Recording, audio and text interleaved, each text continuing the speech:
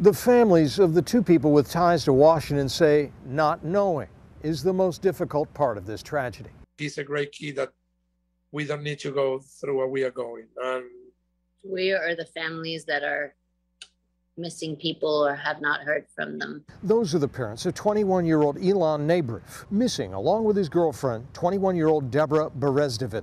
Deborah is a transfer student at George Washington University who started in the fall of last year, according to university officials who say they are as hopeful as possible that she'll be found alive and can begin attending classes in Washington after spending her first year as a GW student studying remotely. Deborah is part of a close knit Jewish community in Puerto Rico.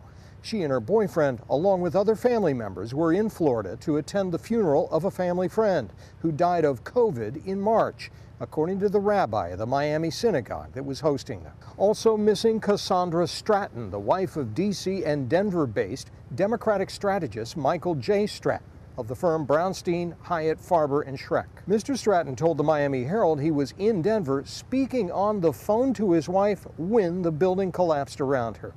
She was the life of every party. One of her friends, Lorraine Mamola, spoke to KUSA 9 in Denver. She was always positive. Oh, she loved to dance. She was a dance. She is a dancing queen. I am hoping for a miracle, and I am hoping that we can reunite and dance again, dance the night away. Scott Broom, WUSA 9.